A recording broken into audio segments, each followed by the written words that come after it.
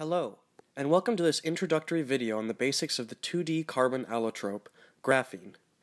In this video, I will briefly provide an introduction to the structure and properties of graphene, starting with its atomic and crystal structure, and moving on to its mechanical and electronic properties.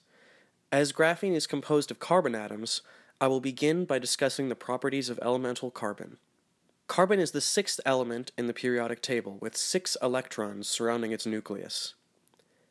Typically, the four electrons in carbon's outer orbitals form covalent bonds with other atoms when carbon forms compounds or is arranged in a crystal structure. Elemental carbon is the sixth most abundant element on Earth, and due to its abundance, its capacity to form diverse organic compounds, and its unusual ability to form long chains of covalent bonds, carbon serves as a common element of all known life. Carbon is stable in various multiatomic structures, including coal, diamond, graphite, and several others I will cover later in this video. For now, let's take a closer look at a very common allotrope of carbon, graphite. Graphite is a crystalline allotrope of carbon, the most stable allotrope under standard conditions. It occurs naturally in igneous rock as well as in meteorites. The structure of graphite is best understood as a stack of weakly bonded 2D atomic lattices. Each lattice is considered single layer, and individually the layers are referred to as graphene. Graphene layers are bonded together via van der Waals bonds, which allows for single layers to be separated rather easily under the right conditions. Famously, the first graphene layer was exfoliated from graphite by Andre Geim and his colleagues at the University of Manchester using nothing other than store bought scotch tape. Now graphene is typically synthesized from the bottom up using the Tang Lau method, which is much safer, simpler, and more environmentally friendly than exfoliation.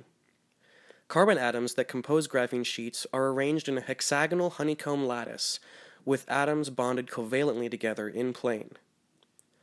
Although typically the term graphene refers to the 2D planar structure pictured here, these sheets can be shaped to form other structures, such as rolled one dimensional carbon nanotubes and zero dimensional hollow ball shaped structures known as Buckminster fullerenes.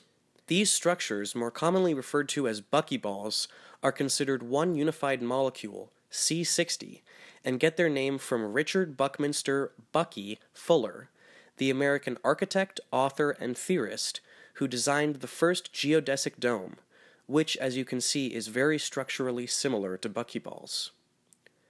I will now briefly discuss the unique properties of graphene that make it so widely utilized in a variety of applications across many different scientific fields.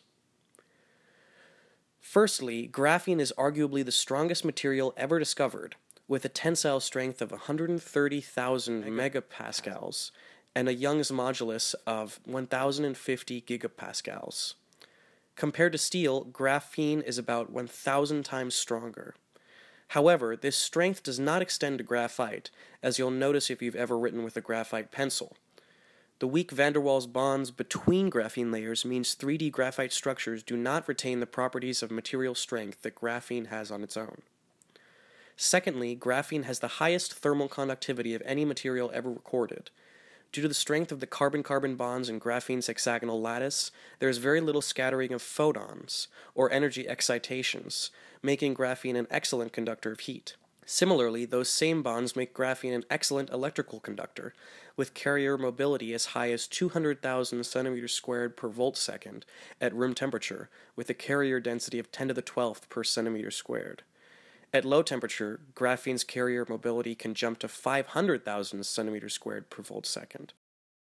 Thirdly, graphene shows a high chemical stability due to the strength of its in-plane bonds, although its chemical inertness decreases if there are imperfections in the crystal lattice. Graphene's inertness makes it applicable in many situations, including as an antioxidating layer around metals and metal alloys.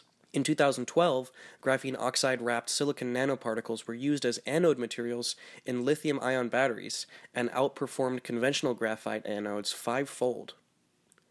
The last property of graphene I will discuss is its interesting bandgap structure. Without going into extreme detail, graphene is notable for being a zero bandgap semiconductor. In other words, pure graphene is metallic as there is no bandgap between the valence and conducting bands. However, graphene can be induced to have a band gap by a variety of methods, including classical N type or P type doping, hydrogenation, and by layering two sheets of graphene to form bilayer graphene. Bilayer graphene has an easily tunable band gap structure, which makes it ideal for applications in graphene based electronic devices. I hope that you learned something from this video about graphene, and feel free to leave a comment below with any questions, comments, or criticisms you might have. Thank you for watching.